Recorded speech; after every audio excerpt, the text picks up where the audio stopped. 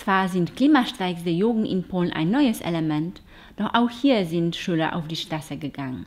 Und eine 13-Jährige hat jeden Freitag im Juli vor dem polnischen Parlament protestiert.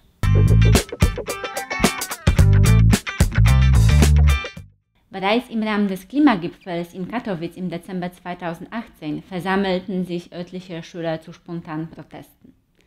Danach im Februar folgten weitere kleinere Demonstrationen in wenigen größeren Städten. Zum Beispiel in Warschau äh, kamen ca. 200 Personen. Jedoch schon zu den ersten Kundgebungen im Rahmen der Fridays for Future Bewegung am 15. März fand die Demonstration in knapp 30 polnischen Städten statt. Landesweit erschienen um die 10.000 Teilnehmer. Die Schüler in Polen fordern vor allem eine ernsthafte Bekämpfung des Klimawandels. Sie protestieren gegen eine untätige Energiepolitik, die auf der Kohle basiert, und fordern einen Ausbau der erneuerbaren Energien. Gleichzeitig ist es ihnen auch wichtig, ein Bewusstsein für den Klimawandel zu schaffen. Deswegen fordern sie, dass dieser im Schulunterricht ausführlicher besprochen werden soll. Ende Juni wiederum hat die 13-jährige Inga beschlossen, vor dem Sejm zu streiken. Sie nahm sich Greta Thunberg als Vorbild. Jeden Freitag im Juli stand sie vor dem polnischen Parlamentsgebäude. Zuerst war sie alleine, danach wurde sie auch von anderen begleitet. Unterstützung fanden die Streiks von Oppositionspolitikern.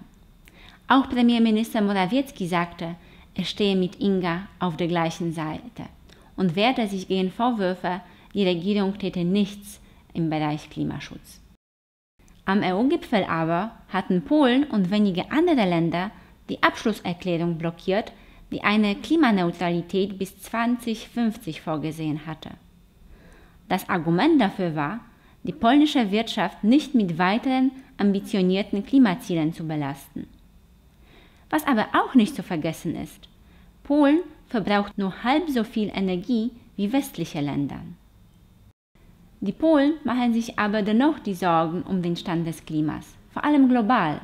Rund 68 Prozent der Befragten äußern sich besorgt über den Zustand der Umwelt im eigenen Land und 79 Prozent der Polen auf der Welt. Wiederum, nur jeder Dritte gibt an, dass der Zustand an dem Ort, an dem er lebt, im hohen Maße der Grund für seine Angst ist. Jahrzehntelang war Umweltschutz in Polen kein Thema, im Kommunismus schon gar nicht. Nach 1989 wollte man die Wirtschaft schnell entwickeln und achtete weniger auf klimafreundliche Bedingungen. Diese Haltung ändert sich, auch wenn zu langsam. Der Klimawandel war ein Thema schon in der Wahlkampagne zum Europäischen Parlament. Im Herbst von den Parlamentswahlen wird es auch eine Rolle spielen. Mit welcher Schlagkraft wird sich zeigen.